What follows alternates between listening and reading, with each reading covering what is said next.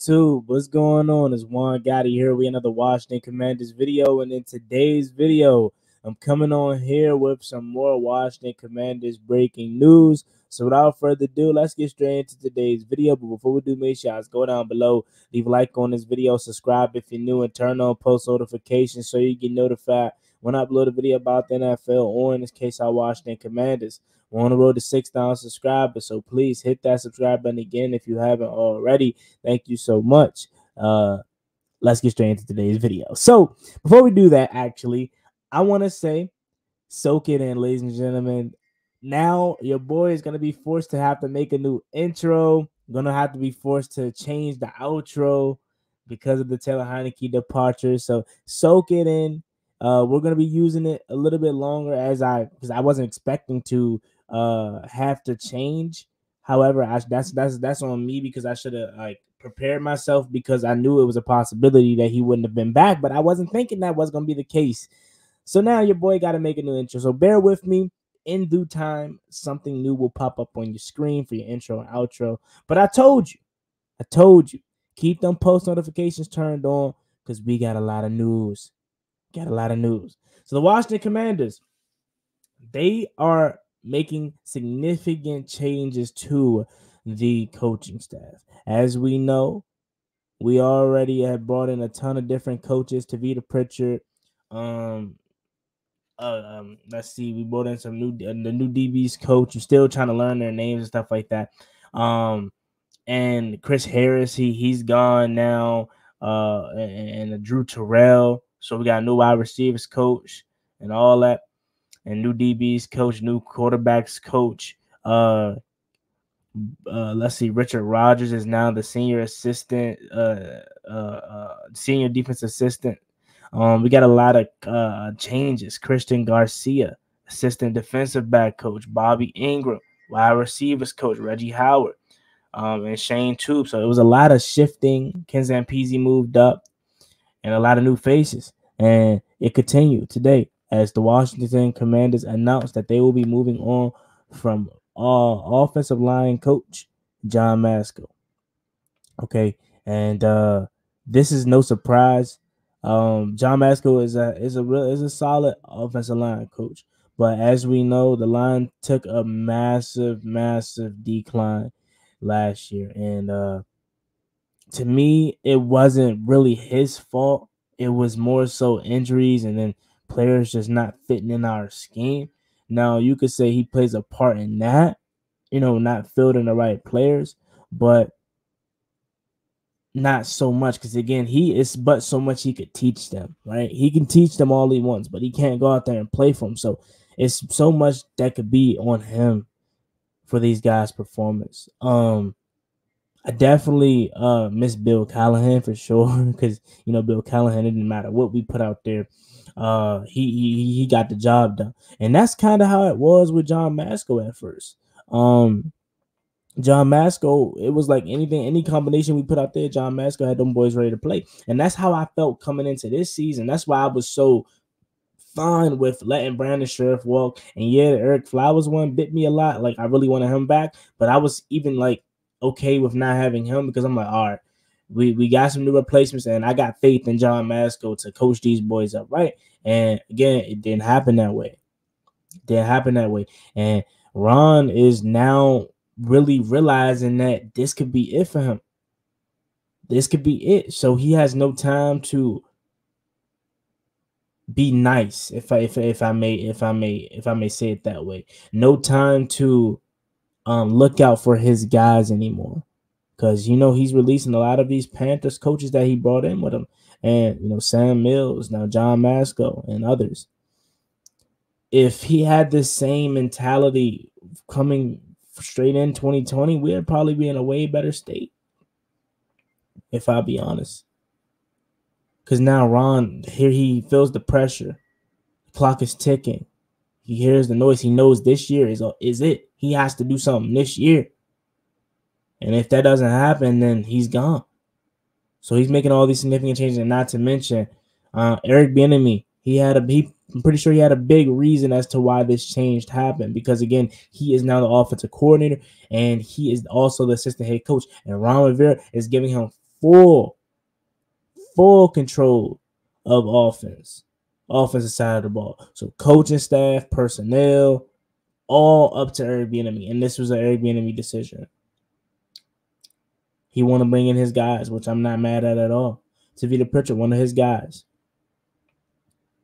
So I don't know at this current moment who we're going to replace John Matsko with, but will I'll keep my my ears open. As you guys know, I'll report on the news when I get it. Let me go ahead and go to Twitter actually while we're live to see if there's any more updates on uh on on the move. Um but let's see what they uh what they have to say. Um see if JP Finley posted anything about the move besides him just uh getting released uh, or getting them moving on from him. Uh, I don't see much. Um, but yeah, man. So Washington making significant changes to the coaching staff, adding more players. Um, this is this is the year that we have to actually do something. Now, again, as you guys know, last year for me was the year where I thought Washington like was gonna make that stride. And we didn't do that for for numerous reasons. And coaching was was a big problem. Now it wasn't John Matsko it was it was more so like Ron Rivera, Scott Turner, but you see what Ron Rivera is doing now. He's getting rid of the guys that he that he brought in with. So I'll do my homework. I just wonder because it just came out. I just wanted to get you guys the quick news, but I'll do my homework on um on some guys that we could possibly be interested in to replace him. I would venture to say it is probably going to be a Kansas City Chiefs like former former Chiefs background or just a former guy that has some type of uh connection with Eric Bieniemy. Um, and, and we'll we'll figure out who who is going to replace him with. But hopefully, whoever it is, they can come in, get this offensive line back right. And I and it's crazy because like a lot of the problem with the offensive line, again, like I said, was not even coaching. To me, it wasn't. Maybe maybe y'all peep something that I didn't. Um, but to me, it wasn't coaching. It was just health and, and players not being in our being able to fit our scheme and fit what we what we want to run. You know, we're kind of like an elusiveness kind of offense, a finesse offense, and we didn't have the guards, the the offensive line that that can that fits that. Andrew Norwell can't move. Trai Turner couldn't move. But the kind of offense that we ran, we needed guys like that. We needed guys that that was flexible and uh, you know, able to move downfield and pull. You know, get out in front of those screens, get out in front of those um runs on the edge, pull around the corner. You know, um, and we didn't have that, and that was, but that's the kind of scheme. So it was a, it was a mix. It was a miss, it was a misconnection with with replacing Brandon Scherff and Ereck Flowers. Um, so again, I, I definitely don't think John John Matsko is bad at all. Um, I don't think he's going to be out of work that long either because again 2021 this offensive line was pretty darn good um and i wouldn't put so much of the the failure on him uh john matsko i mean obviously again like i said he plays a part in it because he had um you know, he is the coach and he has to coach these guys and he has say in a way to be like, oh no, they don't fit my scheme. But then again, it's also like he has to he's not he's not the guy that calls a shot. So he has to deal with with with with what he has.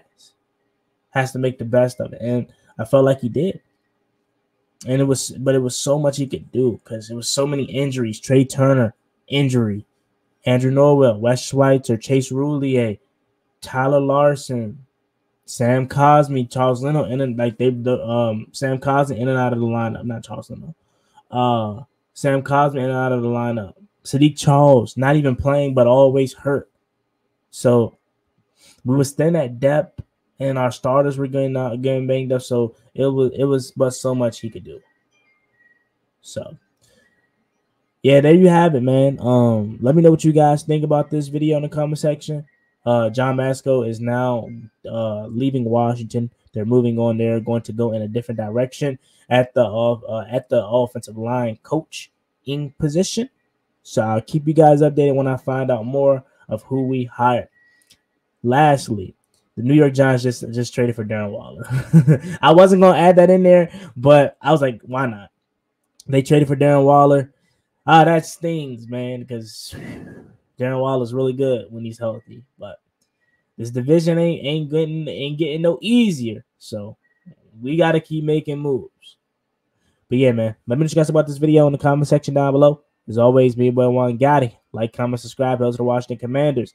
Hit that subscribe button, man. We're on the road to 6K. See you guys next time. I'm out. Peace. Uh, cross me one time, that's gonna get you pop, get you pop, get you slide on the one where they get bogged on. I ain't stopping till I get me out of the mall. Shots in his head, ring his bell like